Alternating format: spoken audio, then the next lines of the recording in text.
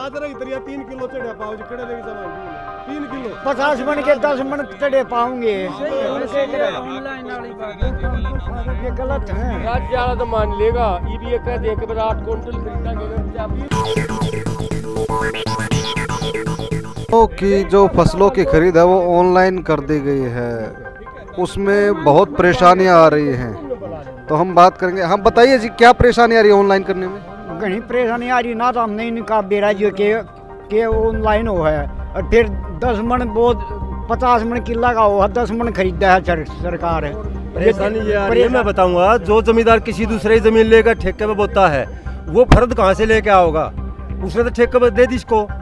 अब ये फर्द कहाँ से लेकर आओगा एक, किला एक एकड़ में तीन किलो चढ़ा पाता छह किलो चढ़ा पावा आठ किलो चढ़ा पावा है। बारह चार क्विंटल चढ़ा जाता है। क्या क्यों? या चना या धान या सरसों। सिर्फ़ तीन या चार किलो या पाँच किलो पैदा थोड़ी होता है। किसी किसी का पचास मन हो जाए किसी बीस मन भी हो जाए दस मन भी हो जाए किसी पाँच मन भी हो जाए। एडिवेटेड ऐसा कोई ऑनलाइन करो तो जितना गेहूँ आ गया? ऑनलाइन खरीद लो और खत्म पैसे डाल दो। हम नहीं कहते कि ऑनलाइन ना करो लेकिन जितना भी आए सारे को खरीदो। अब ये एक शर्त बिल्कुल गलत है। एक शर्त लगाओ, खाते में पैसे दो।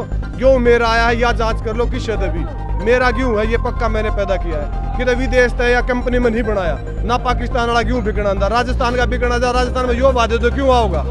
यूपी का आएगा, यूपी में यो बाधे तो क्यों आओगा? सरकार सारे इनकी देते कुछ है ही नहीं। रोड़ा कर दिया जाके। किधर जाके इनकी सरकार ना उड़न कह दे, हम यो कराएँगे यो कराएँगे करता कोई है ही नहीं।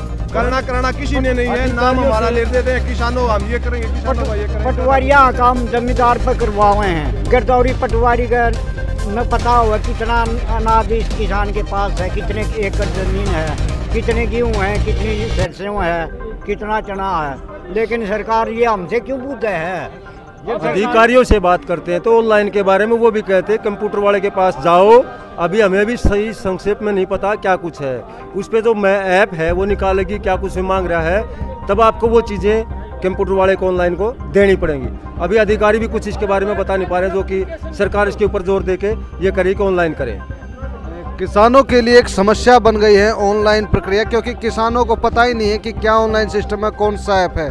तो ये सरकार को सोचना चाहिए कि पहले लोगों को शिक्षित करें और बाद में सिस्टम को ऑनलाइन करें, क्योंकि कई जगह तो लाइट ही नहीं होती। अब क्या ऑनलाइन करोगे, कोई सिस्टम नहीं चलेगा तो क्या ऑनलाइन होगा? तो ये सरकार को सोचना चाहिए। धन्यवाद।